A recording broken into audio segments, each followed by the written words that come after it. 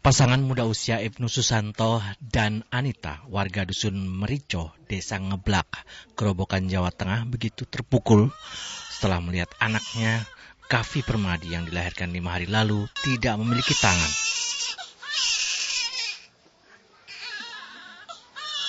Meski demikian, Ibnu mengaku ikhlas menerima cobaan ini.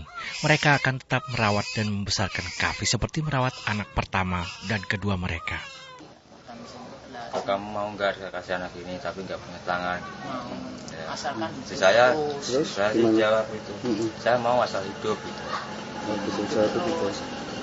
dalam mimpi ya dalam Itu mimpi dalam mimpi maksudnya. Iya. Kavi Permadi lahir di sebuah klinik tak jauh dari rumahnya. Sementara itu Ibnu yang hanya bekerja sebagai buruh serabutan ini mengaku tidak mampu membawa anaknya ke rumah sakit untuk memeriksakan kondisi Kavi selama kehamilan istrinya. Orang tua Kavi nampaknya telah mempersiapkan anaknya agar dapat meniti hidupnya di masa mendatang dengan baik. Dari Gerobokan Jawa Tengah, Rustaman Nusantara melaporkan.